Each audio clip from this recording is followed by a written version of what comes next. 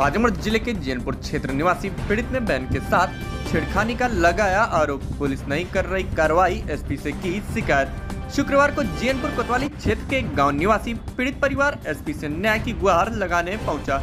इस दौरान पीड़ित ने बताया कि उसकी बहन के साथ एक युवक ने छेड़खानी की।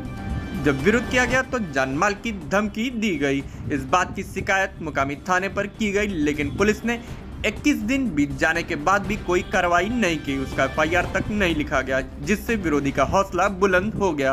अब उनके परिवार पर सुलह समझौता कराने का दबाव बनाया जा रहा है। पीड़ित ने पुलिस अधीक्षक को शिकायती प्रार्थना पत्र सौंप मांग किया है कि आरोपी के खिलाफ एफआईआर दर्ज करते हुए उसकी गिरफ्तारी की जाए।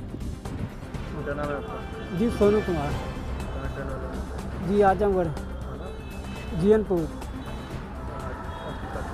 जी सी आप एस साहब के हैं, हमारे लिए अपन शिकायत लेके, हमारे बहन के साथ छेड़खानी भई है ये घटना है दो तारीख, नौवा महीना, दो हज़ार तेईस का। जी, गुरु गुड्डू मिश्रा।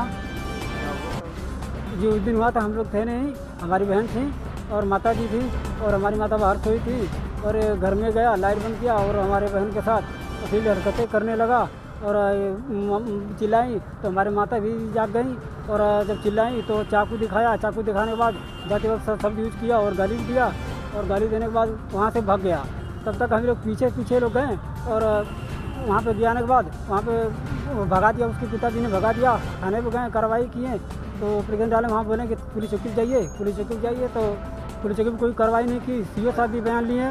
कोतवाल साहब भी छानबीन किए। एफ़ आई आर दर्ज हुई है जी नहीं एफ़ आई आर दर्ज अभी तक नहीं हुई है। आज इक्कीस दिन हो गया है।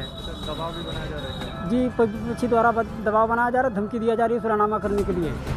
आज आज आज आजमगढ़ एस पी ऑफ़िस आए हैं हम। आज एस पी साहब से गुहार लगाए हैं कि एस पी साहब जी, इस पर आप कार्रवाई उचित करिए हमको न्याय दिलाइए, उसकी गिरफ्तारी करवाइए। हमारी एफ़ आई आर दर्ज कराइए।